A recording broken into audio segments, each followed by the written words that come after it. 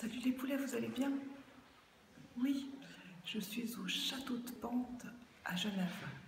Vous vous souvenez que je vous avais dit que parfois les artistes faisaient des images d'eux-mêmes, des portraits d'eux-mêmes. Ça s'appelait un autoportrait. Eh bien, un des artistes les plus célèbres en matière d'autoportrait, c'est Rembrandt. Est-ce que vous voulez voir des autoportraits de Rembrandt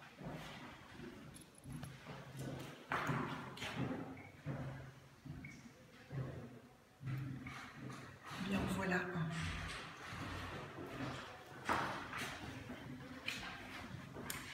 Et ça, vous votre avis, est-ce que c'est un autoportrait de Rembrandt aussi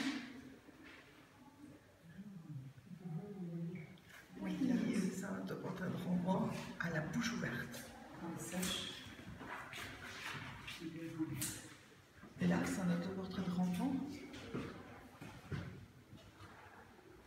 Oui, c'est un autoportrait de Rembrandt aux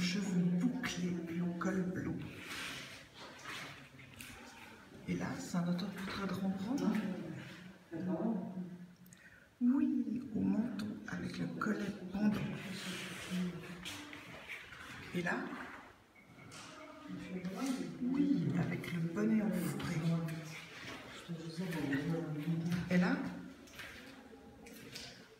Eh ben non, c'est juste un homme avec trois crocs.